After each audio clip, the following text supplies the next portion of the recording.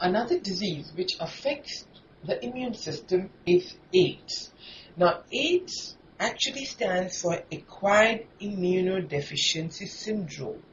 It is called acquired because it is obtained in the lifetime. The disease develops in the lifetime. It is not congenital.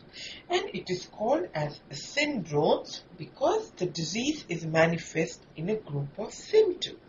Now, the AIDS we all know is caused by HIV. And this was first reported in USA in 1981. And since then, it has spread all over the world, causing about 25 million deaths. This was isolated and identified by Professor Montagnier of France as well as Professor Gallo of USA. First, it was called as HCLV3, that is Human Cell Leukemia Virus 3, and it was later called HIV in 1986 by International Committee of Viral Nomenclature. Children, HIV consists of two different types. We have HIV-1. In this, the pathogen contains 8 genes, whereas HIV-2 contains 9 genes and that is found only in Africa. Coming to the structure of the virus, children, as you can see, this is a retrovirus, a spherical retrovirus having a core of two single-stranded RNA. As you can see, there are two single-stranded RNAs. Besides that, it has the enzyme reverse transcriptase. This is responsible for the transcription of DNA from RNA. Over that, you can see two coverings of proteins. The inner covering is called the P24 and the outer covering is the protein 17 as you can see. Besides that, it is covered by an envelope which is made up of lipid and this has knob-like glycoprotein spikes. You can see the glycoprotein spikes refers to GP120 and GP41. Now we will talk about the mode of transmission of this disease. The most important and most common is the sexual contact. So persons or individuals having multiple sexual partners are at a high risk. The second mode of transmission is through the transfusion of contaminated blood and blood products of infected persons.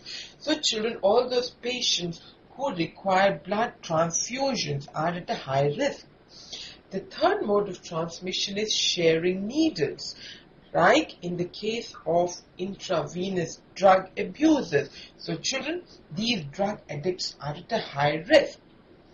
Lastly, the mode of transmission is transplacental, that is across the placenta and even from the milk. So children born to HIV mothers are at a high risk. There is a time lag between the infection and the appearance of symptoms and this is found to be a period of about 5 to 10 years. Now let us talk about the mode of action of this virus. Looking at this diagram, you can see the virus enters children, the macrophages or helper T cells. The macrophages in fact are called the HIV factories the virus can attach to the helper T cells by means of the T4 or CD4 sites. Now what are these? These are antigen receptor sites on the helper T cells to which the HIV sticks by means of the glycoprotein spikes. So, whether it enters the macrophage or the helper T cell children, only the viral RNA enters the cell. The coat or the envelope remains outside as you can see in the diagram. On entering into the host cell, the viral RNA undergoes a reverse transcription to form viral DNA. This viral DNA, also called as the copy DNA, will now integrate into the host DNA and it will direct it to produce virus particles and you can see in the diagram how a number of these viruses are going to be produced and finally they will be released out to attack more and more cells so that in course of time there will be a decrease in the number of macrophages and remarkable decrease in the number of helper T cells.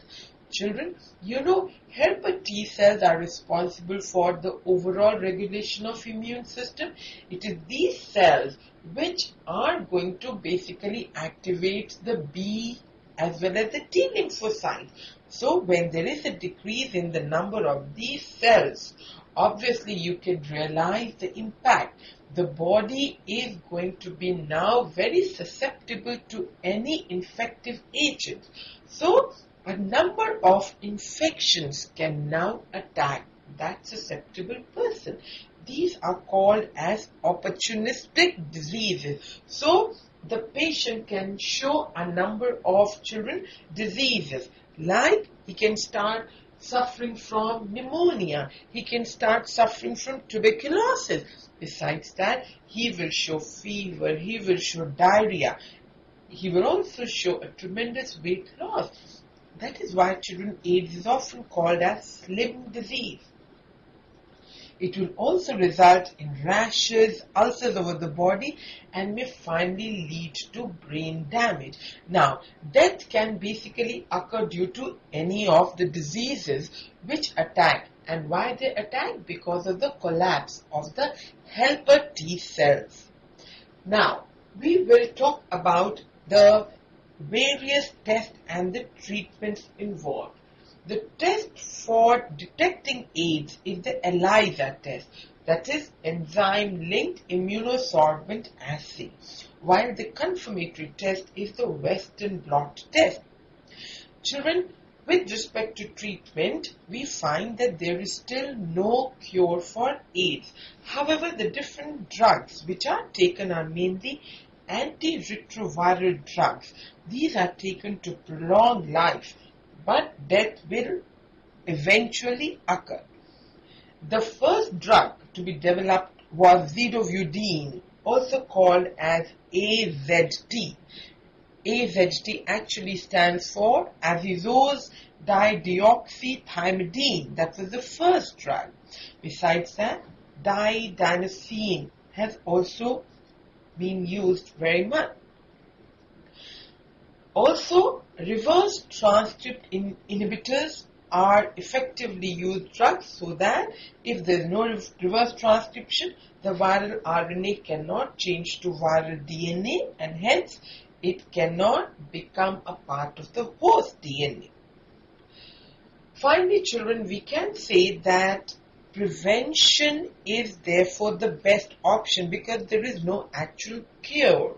So, to prevent the disease, it is very important that the people must be aware of it because the saying that don't die of ignorance should not hold true. People should not suffer from AIDS because they are not aware of how it is spread.